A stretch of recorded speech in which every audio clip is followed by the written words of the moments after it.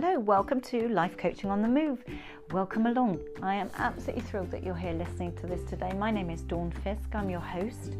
Um, I tell stories, I share examples, um, I walk and talk at the same time. I don't script write this. I just talk about a subject that I believe um, is important to each and every one of us. Today's subject um, I haven't covered actually in the whole of the uh, year and a bit uh, series that I've got of over 60 episodes now, I have never ever discussed values, and um, they are so important. So today I have addressed that and talk about our core values and how by living in alignment with our values, how much happier we can be, or if we are not living in alignment with fully with uh, our values, how out of sorts our life will feel, how discontented, dissatisfied, and an underlying unhappiness we may be suffering, and we may not know it, but it may well be because of our values. Um, and I share a story of how I was living my life without realizing myself that I wasn't fully in alignment with all of my values and how that was affecting everything, and how by making small tweaks and adjustments, how much better everything felt um, uh, and I share how to do that with you. So, today I think is a really, really important subject for each and every one of us. Um, and it's uh, examples, tips, techniques, and some ac- actual activities that you can fulfill yourself and carry out for you to benefit from. So, I hope you enjoy it just one announcement, and that is to say, in August 2020, which is looming at the time of recording, I am having a summer sale on the website. So I am offering 10% off my two online programs. There's a time management online program to sort all of your efficiency and productivity and way of working out, which you can download and you then own. You can do it at your own pace in the privacy of your own home, and you can revisit as many times as you need to in the years to come whenever you get that you know you take your eye off your ball with your time management you need a little bit of a reminder it's there you own it. So that's going to have 10% off the time management online program.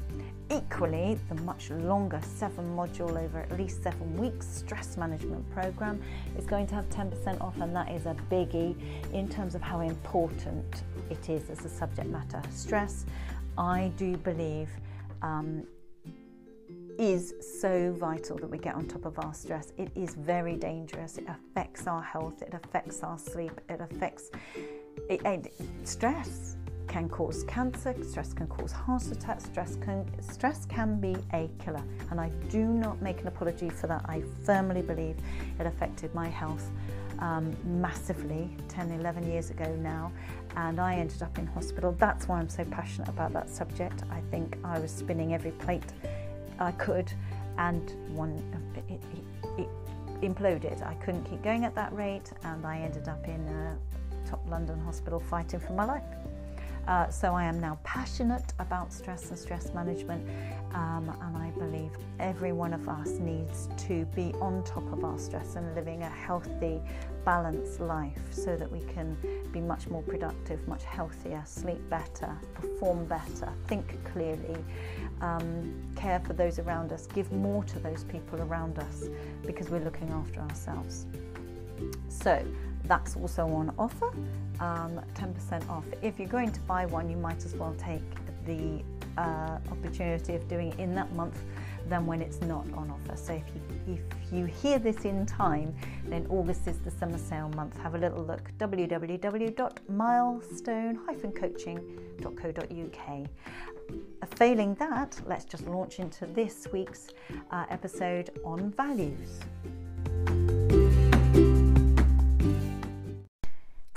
Focusing on those times where we feel perhaps we just never seem to have time to get things that matter the most done. Or we never seem to be focusing on what matters the most. We seem to be constantly focusing on everything else. Um, or, and or, those times when you're feeling frustrated or disappointed or annoyed with yourself all of the time. Does that ever happen to you? Um, it may be happening to you right now. So, what I believe is often at the root of that is when we are not living our life true to what's important to us. Um, we're not living a life that's true and aligned to our innermost personal values. If we're living a life that's in line with our values, it feels right. It feels like we're wearing the right size shoe. It fits like a, a glove, hand in a glove. That's the wrong analogy. I've got all my metaphors and analogies mixed up there. Um, but when we are living life in alignment and it feels right, then our mental health's better. Our sense of uh, sense of self, our sense of reward, our sense of happiness, our sense of calm and peace with our life is so much greater. When all of that is out of kilter and we're feeling frustrated and life just is, it, seems to be a bit of a battle, it seems not to be very rewarding, it seems to be frustrating, then I believe, having worked with so many uh, clients in the past and in my own life, I believe often we're not living the life that is completely in tune with what we really value most. So, it may well be that if this resonates with you a little bit or a lot, it may well be that we need to make a little tweak, or you need to make a little tweak in your life so that you're living more in alignment with what's important to you. Um, the more we know about ourselves and the more we know about our own uh, values, our core values, um, then we can live a more satisfying and fulfilling life because we can make decisions that are um, based on what's important to us. We can make career decisions in alignment with what is a core value. Uh, we can make personal decisions in alignment with our core values. If we know ourselves well, if we know what's really, really important to us, then it makes all of our decisions so much easier. Um, so it is worth exploring this. It's really, really worth doing this uh, activity or the, these exercises or spending some time working out what's really, really important to you. Now, there are loads and loads of values out there, uh, loads of possible core values. You only have to go on the internet um, and Google core values list or core values exercises and a whole list of hundreds of words, all alphabetically laid out from acceptance, accountability, accuracy, adaptability, alertness, etc. On the A's, abundance, um, adventure, ambition, appreciation in the A's, there's hundreds of them, all the way through to W and Z uh, wealth, well being, wisdom, warmth, zeal, uh, wonder, vitality, all of those at the end of the alphabet, and hundreds in between. So, so there is a whole host of possible core values out there that, and, and many of us will have many of them. But what we need to work out is what are the overriding ones. And I always think with working with clients, it's best to focus on what are our top core values. What are the ones that we wouldn't give up, even if we were offered a million pounds? What wouldn't you give up? Um, so, I mean, most of us believe in generosity and professionalism, some risk taking, um, some some popularity. We want to be popular, or we want um, to feel proactive, or we want to what other um, list, looking at a list here. Um, we want enthusiasm in our life. We want freedom in our life, fun in our life. You can tell that I'm on the F's.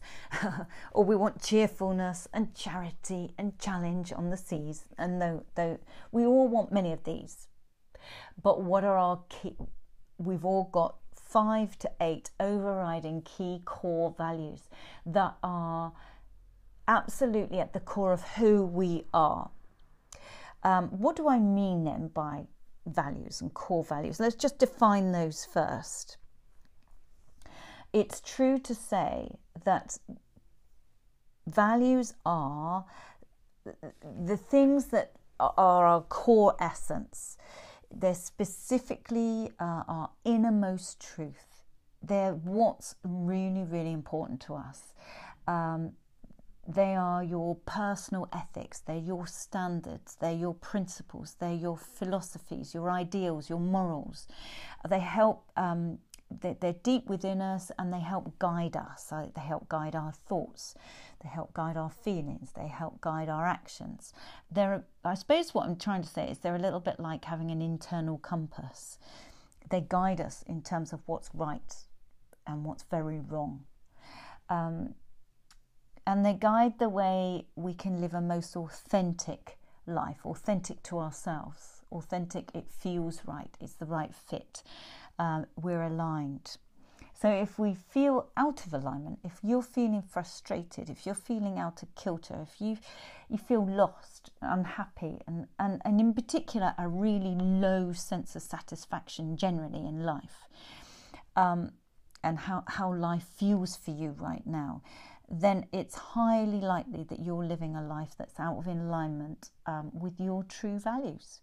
Um, Maybe you don't know what your true values are. You haven't got the full knowledge of what is really important to you. Maybe you've not consciously spent time really, really mindfully, consciously thinking about what is your overriding innermost compass, uh, those values, those things that are non negotiable in your life. Um, those those philosophies that are non-negotiable for you, the ideals that you are aiming for. Um, the principles that are key, your ethics, your standards, that sort of thing. Um, and, and once you've worked out what those are, those top three or those top five to eight, then you know how to live your life, what to aim for, what to make sure is part of your life, where to invest your time and your passions, um, how to plan your week, your month, your year, your career, everything, your actions around those so that you're totally aligned. Um, people, I think it's true to say that maybe they've got low mental, you know, they've got mental health challenges at the moment, or they're feeling low, or they're feeling unhappy and dissatisfied. They usually there's a, an, an element of them not living true to those ideals. Uh, because anxieties come in, uh, depressions come in. It's a bit of a chicken and egg what came first, really. So it's worth your while investing time on thinking about and trying to uh, come up with your core values. Now, you can either do that by Googling a core values list and printing one off, uh, like the one I've got in front of me now.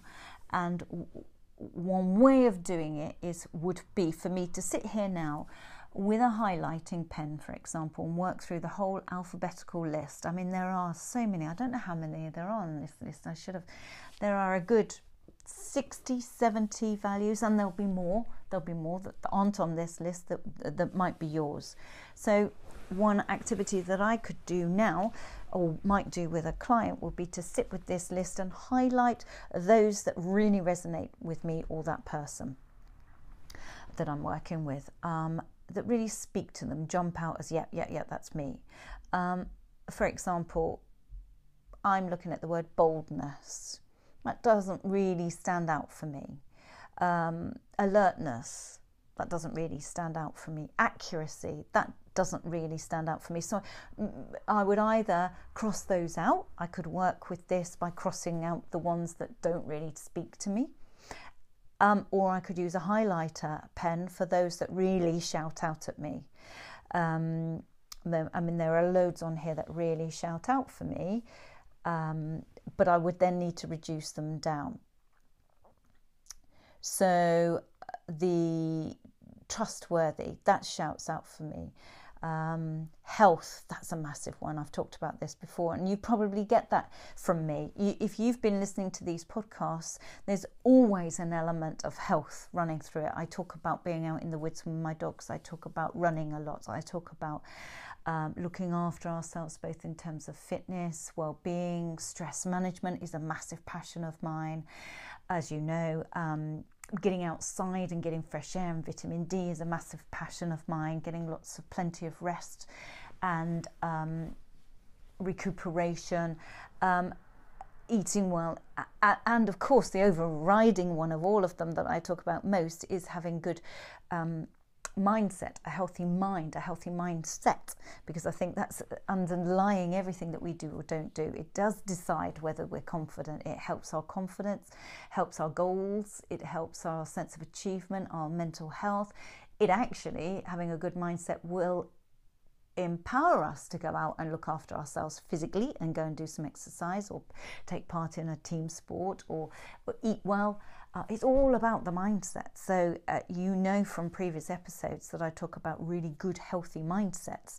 So, for me, uh, on this list, health in so many ways, mental health um, and physical health is a huge one for me. So, I would definitely highlight that.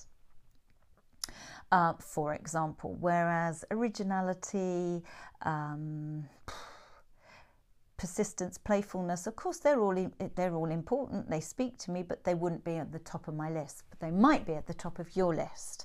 So I would recommend definitely doing this.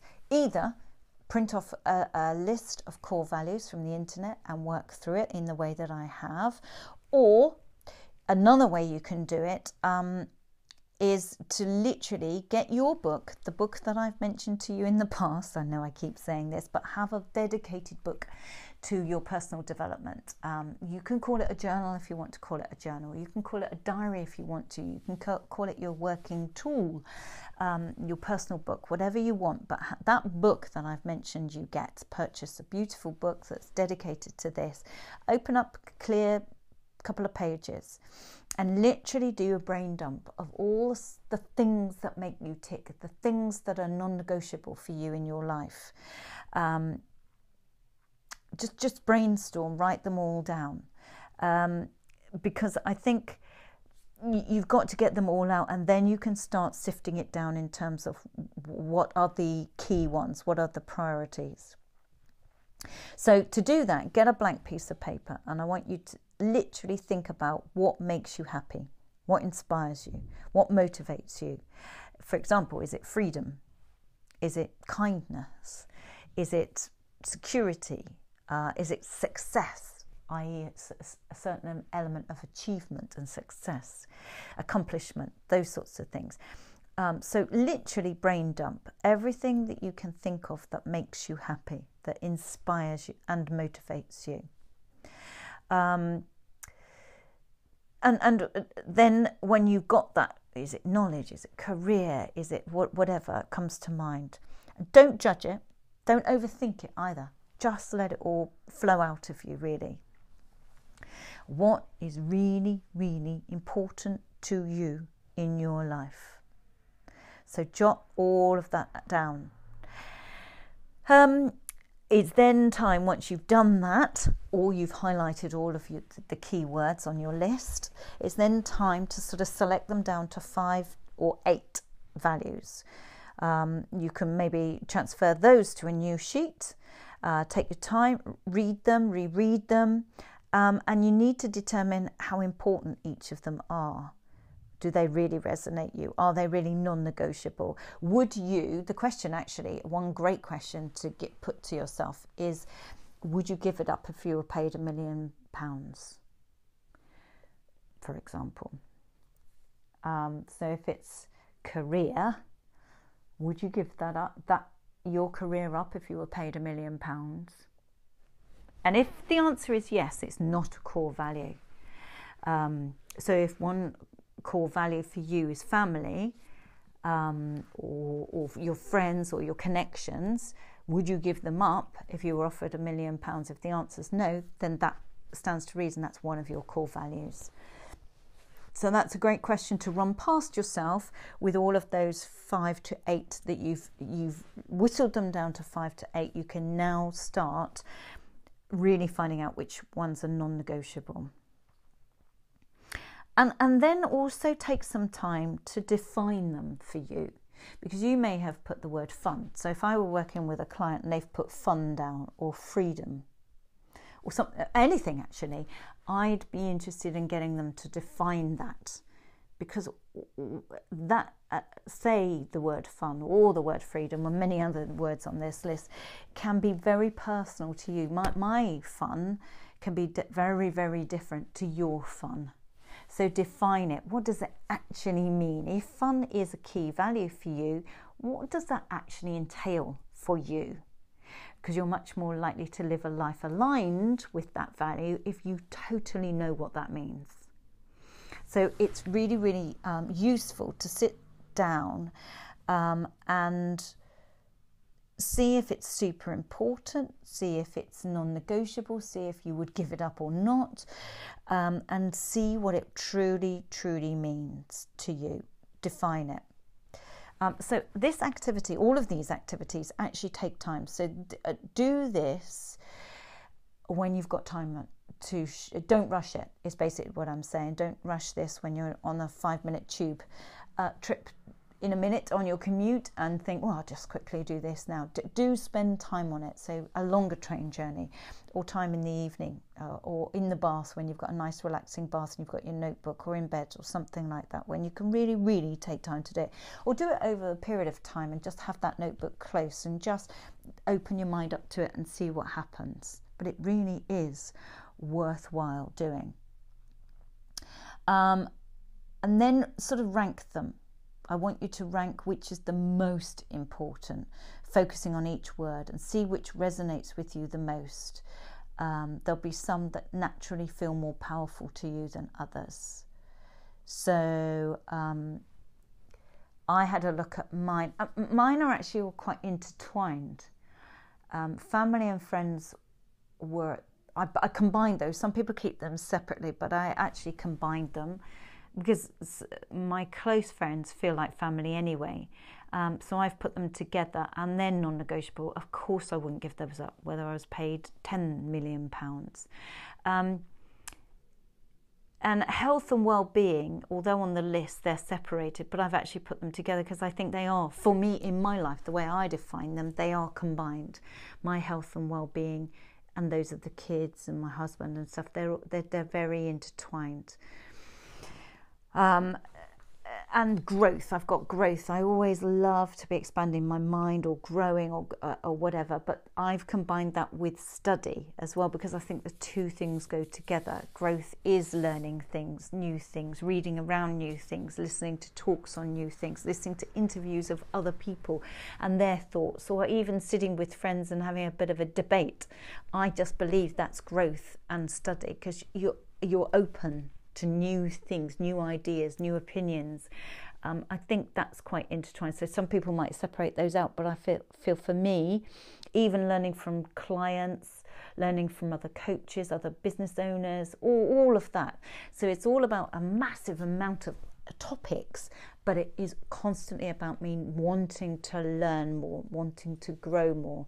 Not not because I want to be top of the game or or phenomenally, hugely successful or famous or anything like that. It's not. It's just this value that I've got to be always just learning. It's not with an end goal in mind. It's just to always feel I'm feeding my brain with new things and it's not stagnant. Um, and it thrives and it enjoys it. And I, I, love learning new things. I love mulling new things over and chatting about them on a dog walk or expanding on them or exploring them further and questioning them. That's a big value for me. It may well not be for you or not one of your top eight anyway. Um, so, by finding out what our values are, we can then much more easily uh, make decisions. Because if I know what my uh, core values are, the other ones in there are caring and optimism. Um, you've probably picked up from the podcast, I've got this perhaps naive, perhaps foolish um, long standing optimism, and I will always try and find the good out of a bad situation. I will always believe there is some something to look forward to or some good in all of this. So it's always, uh, even if I get down at some points, usually not for very long. Um, and I usually come out the other side very optimistic that it's happening for a reason, or there's something I can learn from it, or some good will come of it, etc. So optimism uh, and the need to be caring, whether that's for family and friends or whether it's for the community or for you listeners or for one to one clients or for delegates in a workshop or whatever. Um, and I suspect as a result of those values that are in there for me. I suspect that's why I've gone into the line of work that I've gone into. I may not originally, 20 years ago, 17, 18 years ago, have been mindful of that, but I think I am now in a career doing what I need to be doing, doing what I love most because it's in line with my values. If, however, I were on a I were working in a factory where I just had to do my task. I had a very straightforward task. I just had to repeat, repeat, repeat. And there was no opportunity for growth and there was no opportunity for me to care for anybody around me. It was a very isolated job, just bolting on screws, and you didn't have teamwork and things like that. So there was no opportunity for me to be optimistic because I just had this. I couldn't grow, I couldn't care for others. Um, I couldn't take care health wise. You know, uh, I couldn't stretch and walk around, go outside because I had to stay in this factory, in this spot, and not move around, and very rigid and very rigid rules. I would be really, really unhappy um, because all my core values would be suppressed and uh, squashed. None of them would be being fulfilled through that line of work, for example. Um, so, if you're unhappy in your in your role in your in the job that you're in it may well be because you've got core values that you're not able to express and live authentically with. So if one of your key values is teamwork for example you love being part of a team you may fulfill that in your private life because you're part of a five side football team or something. But at work you may work totally by yourself. You may be out on the road as a salesperson by yourself and that's why it might not feel right for you, for example. Um, so, uh, this comes into play, I think, when we're feeling frustrated, disappointed, unhappy, unsettled, um, we're struggling, there's negativity. It may well be at the root of it are our core values. Um, I had one client who was, she had done a series of careers uh, she'd done okay in all of them, but she'd never really felt fulfilled in her career, ever. And she came to me for career coaching and she wanted to change again and she didn't know whether to retrain. She was very, very clever, very intelligent, very well um, qualified, but she she wasn't feeling it in the line of work that she was doing, and she was coming with uh, to the coaching to really try and mull over and decide whether she should do it, some further training and slightly diversify.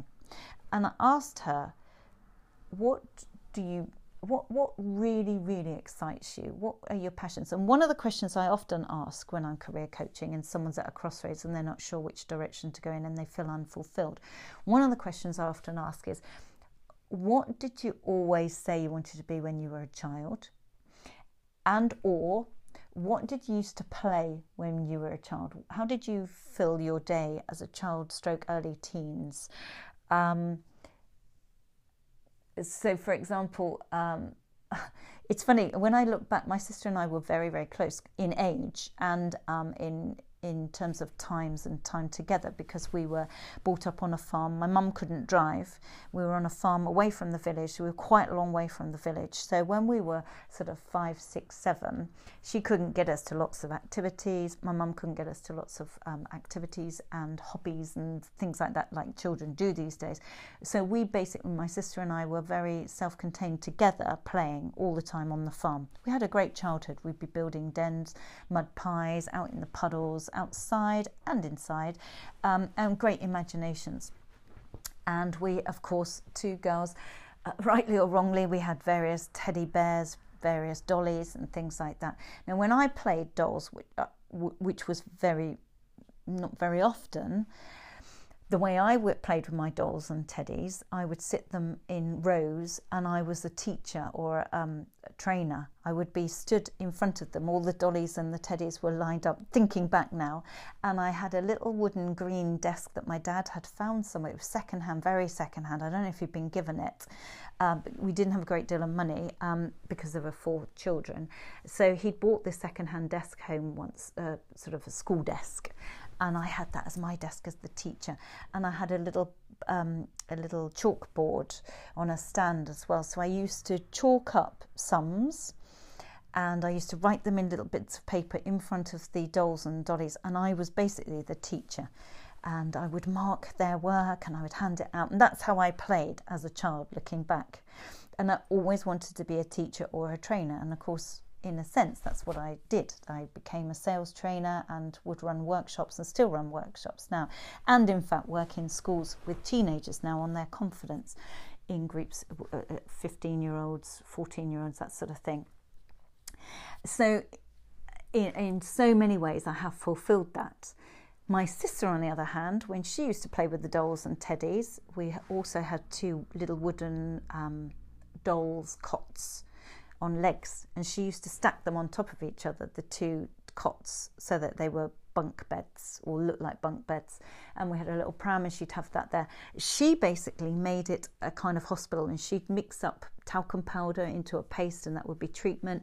And she had um, various bits of cloth that she would use as um, bandages, and she'd bandage them, and she'd get old plasters and, and pinch the plasters out of the cupboard. And uh, she would play nurses. She would basically nurse them. And so for her, and of course, she went into the caring profession. She uh, worked in um, all sorts of different caring roles, actually, predominantly um, with um, hand, uh, handicapped and disabled adults she worked with. She worked in old people's homes. Uh, she's done various caring roles in her careers, uh, career choices. So that's how she. So if anybody could have watched us as children, the signs were already there. So I often say to uh, people in career coaching, what did you used to play as a child? Or what did you used to say you wanted to be? Um, and when I asked this particular client, what did you used to do and how did you busy and fulfill your time when you were growing up, as I say, and she said, I used to write. I desperately wanted to be a writer. I used to write silly things and I'd sit there, I'd always have a pen and paper in my hand, and I'd just sit in my bedroom um, by myself uh, for hours writing.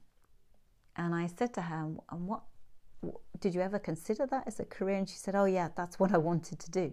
I desperately wanted to write. But my parents uh, were firmly against it and said, You don't make any money as a writer. And so her parents' beliefs or her parents' values had been a huge influence on her. And in a sense, she had squashed her, her own wishes, her own beliefs, and her own core values. Because for her, a value was expressing herself through the written word. Um, she just loved, she loved writing. And I said to her, How about you just do that now alongside a career, you, you start to write now for yourself and you write maybe small articles or maybe short stories or something. And she, she then confessed to, Well, I have got some things written. I do sometimes still do it because she had such an innate need in her that she'd been doing them, but just putting them in a file or folder or something on the computer. And I said, Well, can you do something with it? Anyway, long story short, when we worked on this quite a lot, about six weeks after we finished the career coaching, um, and she had agreed she was going to also pursue her writing. About six weeks later, she sent me an email, really, really lovely email, really excited email saying she'd won a competition and um, her first piece of work was going to be published. So there you are. It was in her all the time. Uh, but she was denying it and living it. And, and I do believe that's why she constantly felt dissatisfied with every single job she'd done. Even though she'd done okay with them all, she was very capable, very able, she'd never really got the passion um, in any of those roles. She never truly loved them. Because at the bottom, underneath it all, she desperately her true one of her values was to express herself through the written word. That was where her passion was. So does this resonate with you? Is there anything that, that you have felt just there's always been this constant dissatisfaction um, or unease or unhappiness? And it may well be that you need to tweak your decisions as a result, because if we can make our decisions in um, in alignment with our values, they're very easy decisions to make. So, the next step, um, once we've worked out what our values are and we've kind of ranked them, we found out what the the the question to sometimes you can ask if I had to give one of these up off my list of five to eight, what could I give up if I had to just give it away? Um, it's hard. I tried doing this myself, and actually, I couldn't give any of them up. So I'm only tentatively suggesting you do this. I couldn't do it because I couldn't give my family and friends up. I also couldn't give my health and well-being up. I also couldn't give that need that I've got to be really caring, whether it's the neighbour or wh- whoever it is. Um, and I couldn't give up the need for me to be constantly growing and learning an open mind, nor could I ever not be optimistic. so I decided I couldn't give any of them up. Um, so see how you get on with that part. But the last part um, is to then ask yourself the question in terms for you going forward and living a life where you're truly aligned to your values is action planning, really. Ask yourself a couple of questions. If, um, the, how do I word this? I would say, let's say I'm looking at my value of family and friends. So look at each value separately and ask yourself these questions. If I were living in true alignment with my value of family and friends, what would I be doing? in this next week, say, and for the next month, and therefore for the next year and the future. So, but on a daily basis or for the next week, within the next week, if I were putting family and friends' value at the top of my list, what would I be doing so that I know I'm living in alignment with that? What would I be doing? And then what would I be saying? What would I be feeling? And where, where would I be? So when I did this, I did this once in a workshop. I was the delegate in a workshop um, a long, long time ago, and it has stayed with me since. And I realized at the time I wasn't fully living this value because I was busy doing. I had I was working. I had a freelance contract at the time, plus running my business at the time, plus running the home, um, and a marriage, and and the kids in particular. I was having to rush. I was rushing them off to school, then I'd rush off to my job, then I'd rush back, get dinner ready, and then they were younger. And, and I had to confess to myself that I was actually, in order to keep sane, I was getting them to bed as early as I could so that then I could sit down and do some more work in my coaching business uh, on top of that. So I was exhausted, tired, getting them to bed early. And I, I realized when I did this that I wasn't actually spending quality time with them. I was being functional. I was uh, I was doing what needed to be done.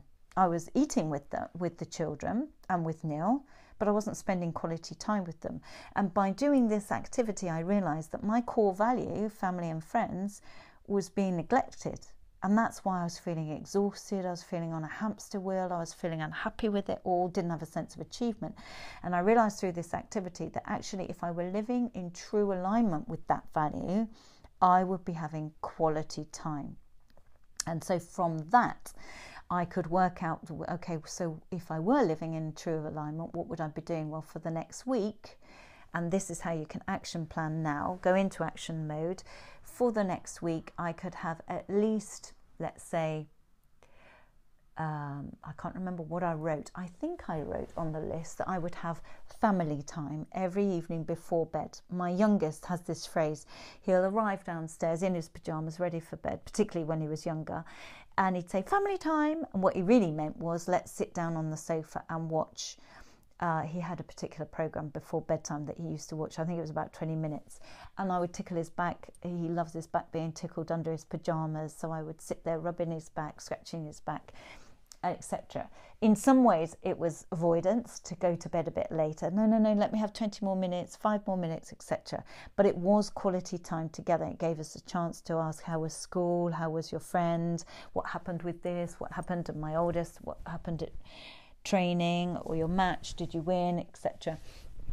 And that so I knew now that if I needed to address this value and spend that quality time with them, instead of me saying, You sit and watch that, I'll go and do your packed lunches for school tomorrow and instead of me saying to Neil, "Oh, you can can you go and walk the dog, and I'll get the kids to bed separately," we would do separate things. I realised I needed to address it, so our dog walk at the weekends, a long dog walk, would become the time that we could properly catch up and have a proper conversation. A Saturday morning cup of tea in bed became a, a lie-in and a cup of tea came our, uh, became our time of really catching up on your week. How was this? How was that? What did so and so say? Such and such and so on. So, but you can do this yourself. Work out what your key values are, and then ask yourself: if I were living in true alignment with this one, and this one and this one, what would I be doing? So for me, the second one was health and well-being, which I have to say again at that time, I had taken my eye off the ball because I couldn't do it all. I couldn't do the health and well-being, even though I needed to. But so what I ended up doing there by asking myself the question: if I were living in true alignment with health and well-being, what would I be doing each week? I could start planning. And so, actually, at that time, um, one of the girls at the company I was working with um, wanted to do a little bit of running so she and I started to bring in our running kits. Every lunchtime we'd go for about 35 minute run. They had showers luckily there. So we the two of us would go for a run. We'd have a good uh, catch up so it was a chance to do the well-being thing and the chat and the friendship and caring and so on. Health and um, fitness, we were running together, we'd shower and then eat um, the sandwich that we'd got from the canteen at our desk instead. So I was able to it, combine that with my job and therefore not take away from my family and friendship times back at home. So I could I could turn things around just by looking at what my core values were and making some changes. Um, so it may um, and the growth and the learning I think that was at the time because I used to be in the car both directions a good hour every day. It was a hideous commute on the M4. You'd get stuck and park there. I started to download podcasts, audiobooks, learn things, interviews. So I do my learning um, in the car, listening out loud um, from the stuff I downloaded. So I was I've only really just realised all of this. I was fulfilling pretty much all of my core values by addressing it with that activity I did in that workshop. So I really, really hope this has helped you. Find out first what your core values are. If you can prioritize them, then do. But I don't actually believe that's that's strictly necessary. It might be slightly if one is overriding or two are overriding, then of course that will help. But the key for you to do a bit of a mental health check is to find out if you're living a life that's in alignment with them, to find out if you're in a career that helps them, facilitates them, and brings them out for the better in you. By asking if I'm living in total alignment with this value, this core one value, what would I be doing each week, therefore each month, therefore each year? It's just condensing it down to a snapshot to make sure you're doing it uh, what would I be doing? What would I be saying? How would I be living my life? And if you're not, then that gives you a chance to tweak things and make some changes. And often they're just small changes, such as me spending 20 minutes, half an hour with the children, um, a good 40 minute lie in with my husband, and then a long dog walk, and for example, and the run at work three times a week and the downloading audiobooks. I addressed all of it with some small changes, but actually, life didn't have to massively change. I just had to make a few adaptations. And I hope that that's exactly what will come out of this for you. Um, even if it's not drastic changes and if it's not that you're out, it, it may be that you feel okay about your life right now.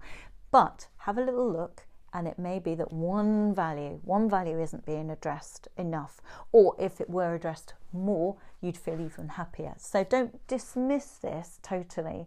It's an activity I would genuinely say is worthwhile doing, no matter how you're feeling in life at the moment. It's just a quick litmus test to see if you're on track. And as I've always said, all of us can all make some small improvements in our lives to find greater um, greater happiness, greater just overall sense of satisfaction with how we're living with things. It may well be that it's felt okay but there's room a tiny bit of improvement for you. So I truly, truly hope that's been helpful for you. It was for me, and I thought it worth sharing because actually on this podcast, I don't think I've addressed values at all. And it is key. It's key in my one to one coaching, it's key in even career coaching and decision making, mental health. It's, it's key in every area. So, drop me a line share your experience share your your learnings that you've got from this because i love hearing from you all. Love it.